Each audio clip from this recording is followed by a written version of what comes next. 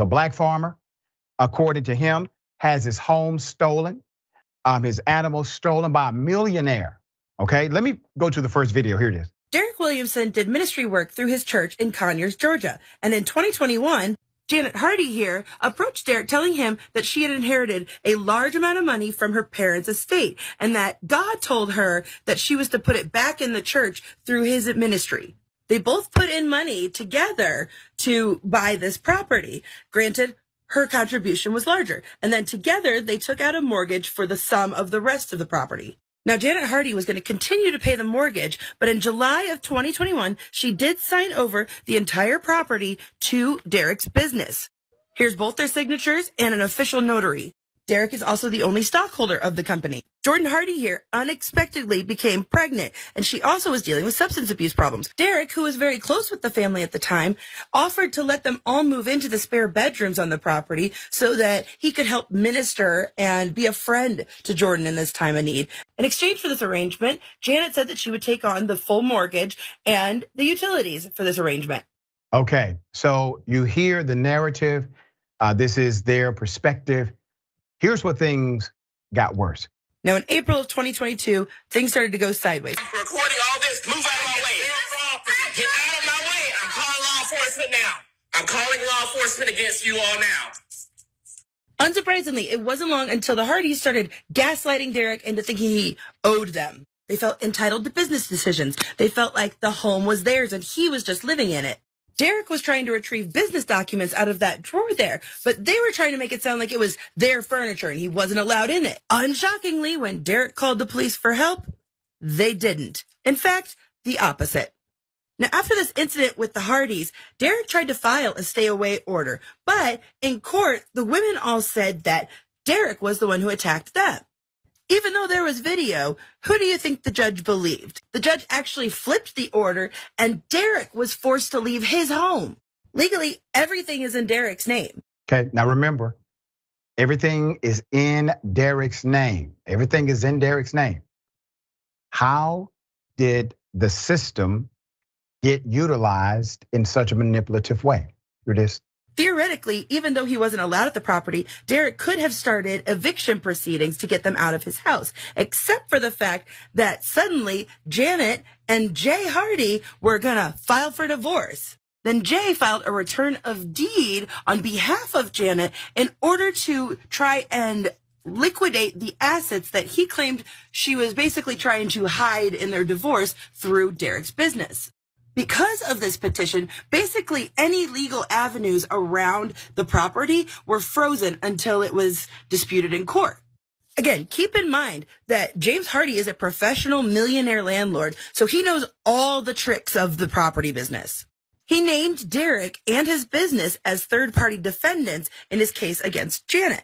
Now, legally, if Derrick didn't respond within 30 days, then it would be a default judgment and the deed would return to Janet supposedly to liquidate the assets for the divorce in this bogus charade.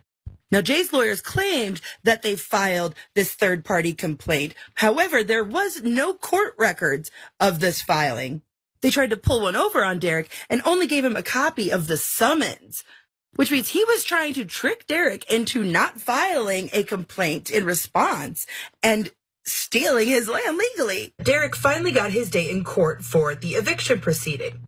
I'm going to go ahead and skim over most of the proceedings, but essentially what it boiled down to is she threw out the eviction. She essentially told Derrick that he had filed the wrong motion, that he was looking for a uh, ejection, not an eviction. The judge then claimed that the deed was in question, even though it's never been in question.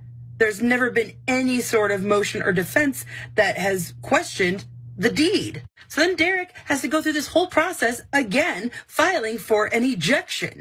Let's put up the picture of the young man at the center of this saga. Okay, he actually hit me up on social media. According to Derrick's GoFundMe, his animals are like his family, have been quietly stolen, sold, and rehomed due to his unfortunate current situation. According to Derrick, his former business partner conspired with the Hardys to take animals. My former business partner, zoo owner, teamed up with the Hardys to physically steal my animals and all our animal enclosure fencing, approximately 100,000, and built up a new facility with our fence that is now a few miles from my farm. Nicole Canoy is their primary wildlife accomplice, according to Derrick Williamson. Derrick posted videos of some of the stolen animals, okay? And also the fencing. Um, Judge Holt, who was involved in the eviction case, had to recuse herself, but later accused Derrick of stalking her because she was exposed online. The new judge would find him guilty of stalking the judge who was exposed online.